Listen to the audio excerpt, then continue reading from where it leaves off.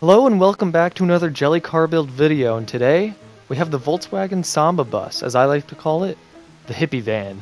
Uh, I was really actually tempted to make a uh, Mystery Machine decal for this thing, but I didn't have time to make it, unfortunately. But um, as you can see, the tune, it's pretty standard off the start for Jelly Car builds. Um, you want to get the grippiest tires, the Super Softs.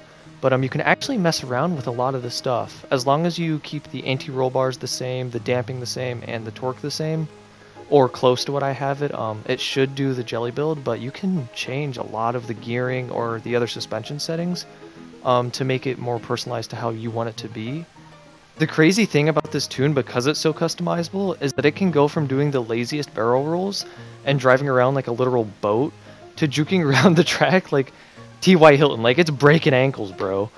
Um, and this thing takes literally no effort to roll once you shake the wheel even a little bit because its suspension is so loose that it just starts doing all of the shaking on its own. Like you don't even have to touch the controller and it does it.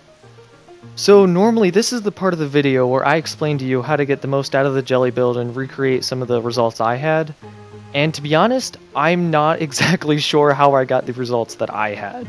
So um, I'm just going to give the advice that you, you get some speed, you whip the steering wheel around, and hopefully you get the the results that I got. And I'm just I'm just gonna roll clips through of some of the things that this bus did. It just does its own thing. I can't explain it.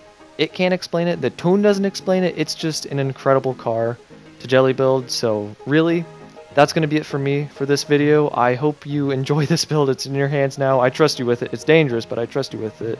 Just don't have too much fun in the hippie van. I know it gets pretty rowdy, but um, that's going to be it for me, guys. So until the next video, Uncle Squeezy out.